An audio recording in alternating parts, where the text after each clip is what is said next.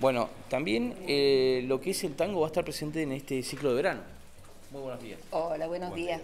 Sí, va a estar eh, presente, gracias a la Dirección de Cultura de Culralcó, eh, el día domingo 21 a las 20 horas y los esperamos. Vamos a dar un inicio con, con clase abierta y después Mirón Callejera.